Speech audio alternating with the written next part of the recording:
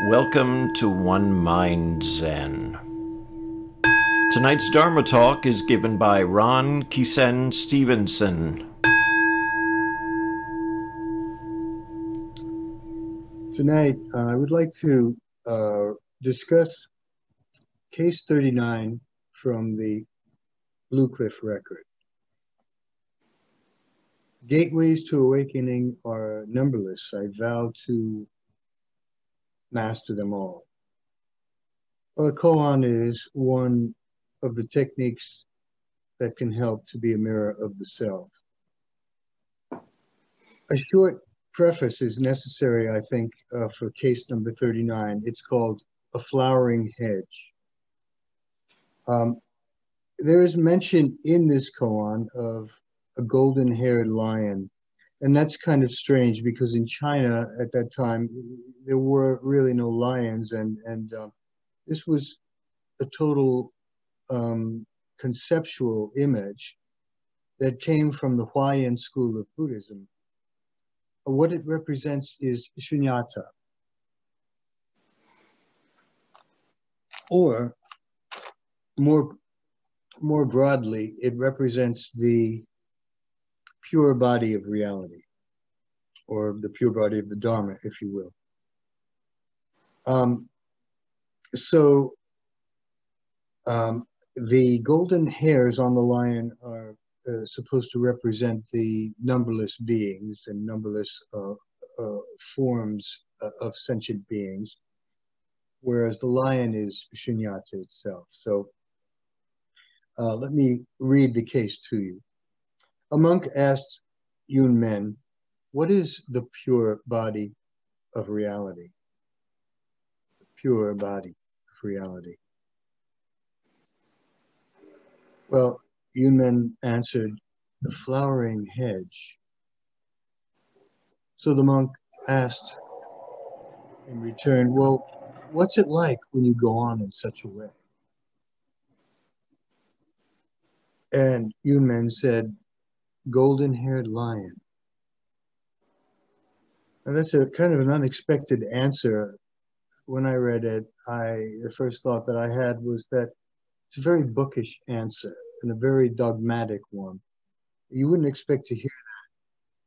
Now, obviously, when he asked the first question, um, he might have expected to hear something along those lines at first, the golden haired lion, but instead, um, when the teacher spoke, you can sense that he spoke from a sense of pure presence. And when he saw the golden hedge before him, that was the pure body of reality. And he knew that. Uh, the monk could understand that much. So, what is it that makes our minds strain to intellectualize things and to understand things in metaphors like this when the pure body of reality is right before us. Uh, I, what I'd like to do is I'd like to ask you to do a small demonstration with me. Uh, just close your eyes for a moment or otherwise uh, just let your mind drift to the image of a golden lion this is a golden haired lion. So, knowing what you know about the golden haired lion, picture that in your mind's eye for a moment. Um, note your feelings on that. Does it make your mind comfortable?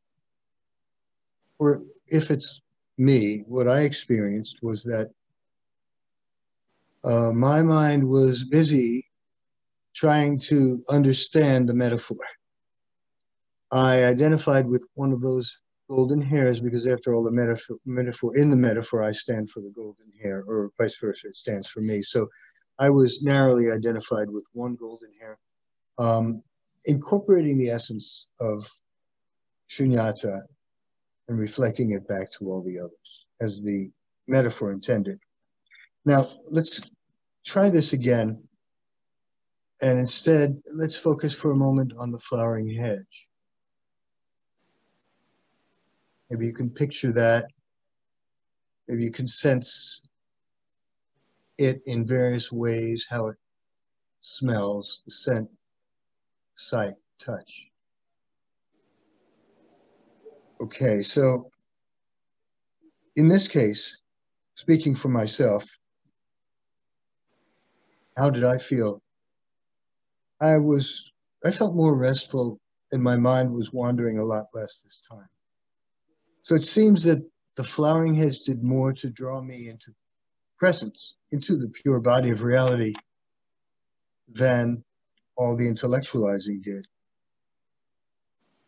Um, we can take this a step further. Um, imagine that we broaden our vision for a moment and we see that hedge growing around the latrine. And it's growing out of the slop of the latrine. Picture that for a moment in your mind's eye. Again, I found my mind working, try to reconcile contrasting images. Why is that? Well, I have associations, various mental associations that align to my preferences and aversions. I think that we're trapped in a labyrinthine prison of our attachments and aversions. Uh, we really don't have an emotional desire to reconcile the flowering hedge and the dung heap, do we? What we want is for the flower to prevail. And maybe we can tolerate the other one. If we would take a picture of it, a photograph of it, how would that look? What would we focus on? What might we blur out?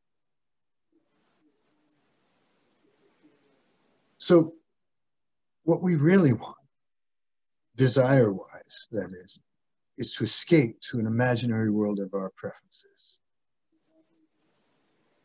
So let's go on to the monk's second question. What is it like to go on like this? That is, what is it like when one accepts that all that one encounters as the pure body of the Dharma?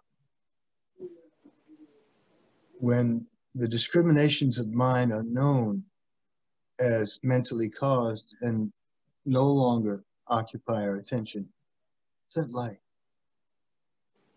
In other words, what's it like to experience the world free of that? The answer was a golden haired lion. But this is not the same lion that the monk had in mind originally, is it? The focus of attention, the perspective is a little different. Now you are the lion itself. I experience reality as the golden haired lion. And naturally, I incorporate all multitudinous beings in my awareness somehow. So the transformation is a shift and a widening of my perspective the answer to my dilemmas seemed to have been sensible reality all along. The pure body of the Dharma is found in both the flowers and the dung. Somehow, um, we learn to discriminate between them as we grow up. Let's think back to childhood for a moment as toddlers, was one of the first things you identified with animals?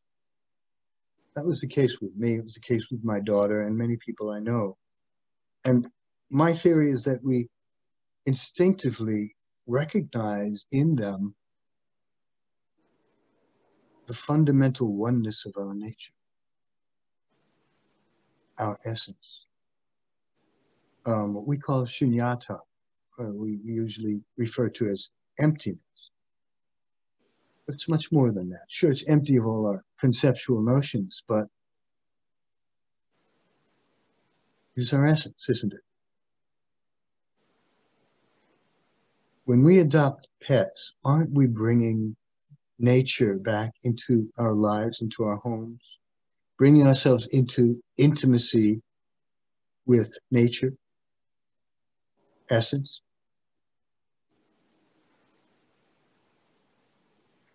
But as we're acculturated, of course, we develop this Disney esque view of nature where we get to pick and choose which animals we like and which ones are bad, and so on and so forth.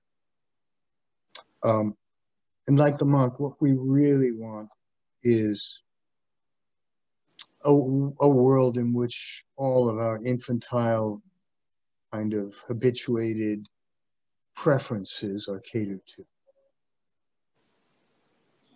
Uh, we just want to escape into habitual, habituated reality. So, our habituated nature as human beings causes us to take the path of least resistance, which is why the Buddha referred to the Bodhidharma as going against the stream. So if you decide to contemplate this koan and take it to heart as practice, the turning phrase is a flowering hedge. Thank you.